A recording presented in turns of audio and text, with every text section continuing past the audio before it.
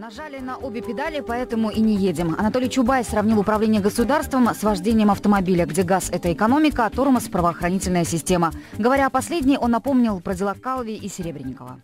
Нужно отпустить педаль тормоза, но управлять Россией бесполезно. Два дня высшие российские чиновники и менеджеры спорили в рамках Московского финансового форума о том, почему наша экономика не растет и как совершить прорыв. Особенно жарким был второй день дискуссий. Михаил Сафонов с эпическими подробностями. Уж простите, но дискуссия напомнила бессмертную картину «Богатыри». Три поколения реформаторов – 90-е, нулевые и десятые. Старший – Анатолий Чубайс, средний – Герман Греф и младший – не по годам, а по приходу в верхний эшелон – Антон Силуанов. И они, как былинные герои, посланы дать импульс российской экономике. И думают, что же сделать, чтобы с помощью нацпроектов выполнить миссию. Причем, как заметил Чубайс, в стране сложились идеальные условия. Еще не было такого, чтобы денег в избытке, а инфляция низкая – но мешает правоохранительная система. Глава Роснано сравнил страну с автомобилем, у которого две педали. Педаль газа, экономика, педаль тормоза, правоохранительная система. Мы сегодня ухитрились на обе педали нажать так, что кости трещат. У нас блестящая, лучшая за 28 лет бюджетная политика. Фантастические параметры, начиная долго КВП, кончая уровнем инфляции. Результат, ну, называют вещи своими именами, роста нет. Нажали на обе педали. Так так не поедем. Не поедем. Чубайс не единственный, кто за два дня московского форума говорил об этих проблемах и о реформах, которые давно назрели, но их толком не провели. Правда, Анатолий Борисович оговорился. Он не призывает к реформам, потому что реформы – это лишь перераспределение власти. Он предлагает призвать правоохранительную систему к ответу, спросить, цитата, «Дорогая система, что же ты делаешь?» Вот только сработает ли такая педаль сцепления? Зато средний реформатор Греф видит совсем иной путь быть. Технологии поменяли современный мир во всех сферах – управление, медицина, образование и так далее. Поэтому лучше вложить деньги туда. Тем более, что на нацпроекты их все равно не хватит, сделал вывод глава Сбербанка. Национальные проекты не дадут искомого результата. Не до конца качественного их структурирования, раз, и из-за того, что там нет каких-то гигантских ресурсов. Этот же самый объем ресурсов нужно направить на абсолютно другие вещи. Судьба нам сделала подарок. Технологии, они совершенно взорвали все сферы. Все деньги по национальным проектам нужно пустить на создание новой модели в каждой из этих сфер. Грефу ответил Антон Силуанов. Сказал, что нацпроекты – это лишь один из инструментов. Есть и другие, например, защита прав собственности. И продолжил аналогию Чубайса. Согласился, что нужно отпустить педаль тормоза. Но даже если это сделать, то есть еще и ручник. Но на слова Грефа, что нет модели, вступился за свое правительство правительства. Здесь было сказано о том, что у нас нет модели наших действий, нет модели прорыва. Ну как же так?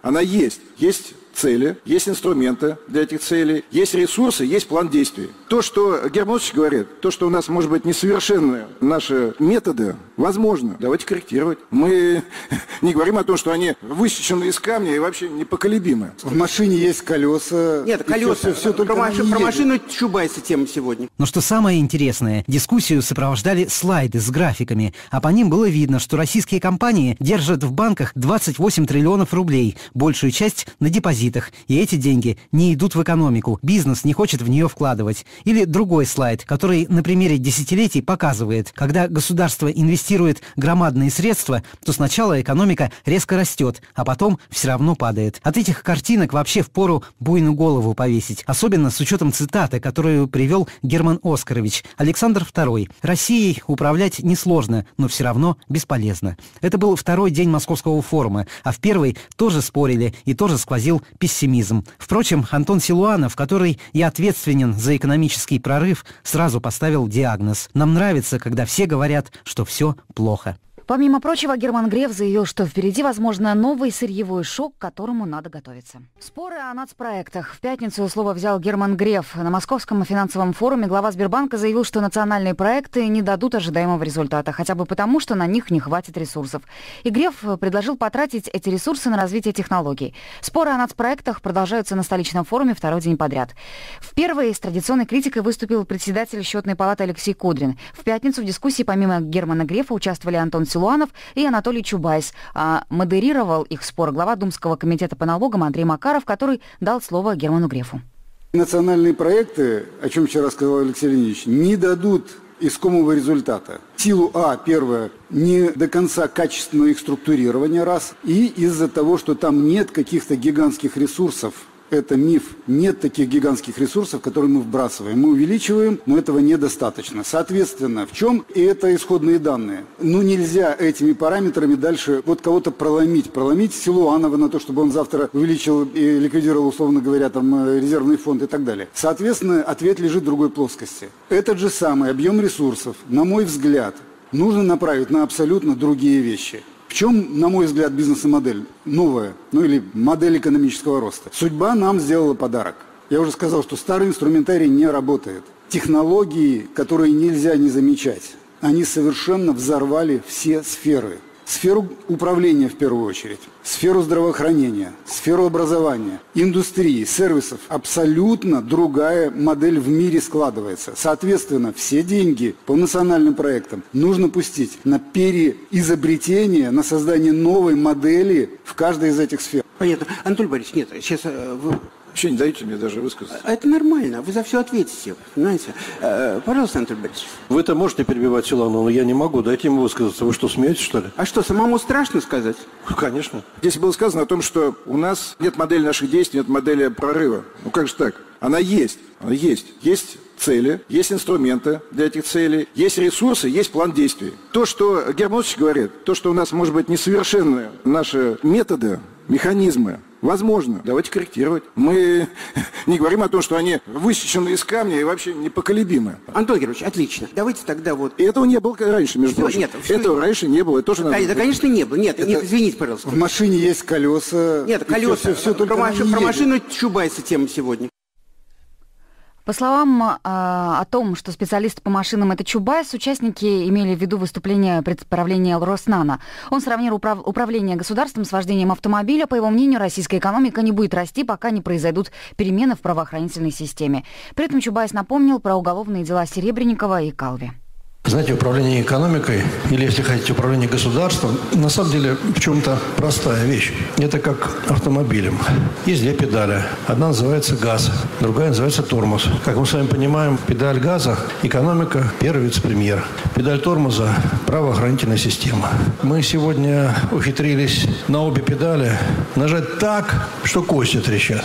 У нас блестящая, лучшая за 28 лет бюджетная политика. У нас блестящая, лучшая за 20 28 лет. Кредитно-финансовая политика. Фантастические параметры, начиная долго ВВП, кончая уровнем инфляции. Мечтать о таком невозможно было в наше время, да даже во время Германа Осовича. Результат, сколько там, 1,2%, 1,1 рост. Ну, называют вещи своими именами, роста нет. Нажали на обе педали. Так не поедем. Не поедем. Так а какую педаль будем отпускать, вы забыли сказать? Ну, конечно же, нужно что-то делать с педалью, которая называется правоохранительная система.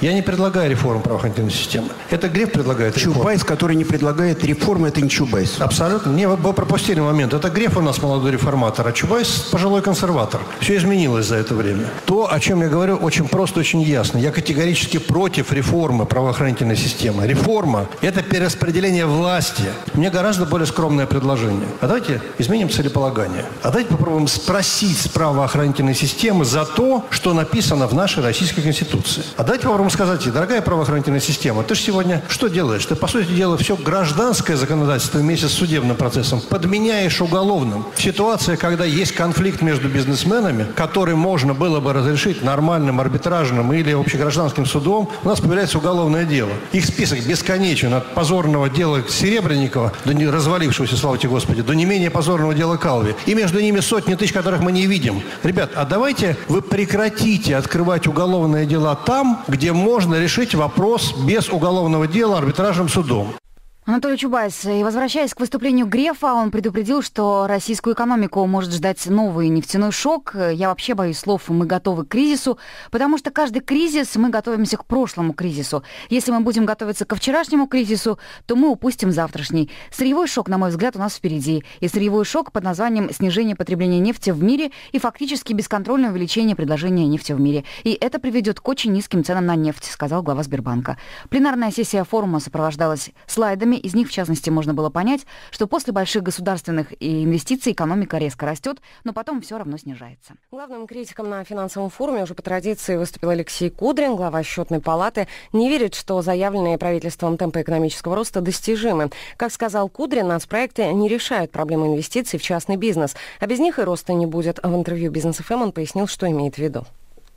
Есть много общих позиций, по которым надо сейчас двигаться. Допустим, проводить декриминализацию законодательства и не арестовывать в период расследования. Эта проблема сейчас чуть ли не на первое место вышла, так называемой роли силовых структур. А сегодня эта проблема в том, что зачастую это избыточные аресты, зачастую это заказные вещи, зачастую это несправедливые вещи, и которые потом разваливаются, но никто за это не несет ответственность. Вы бы этот все-таки пункт поставили?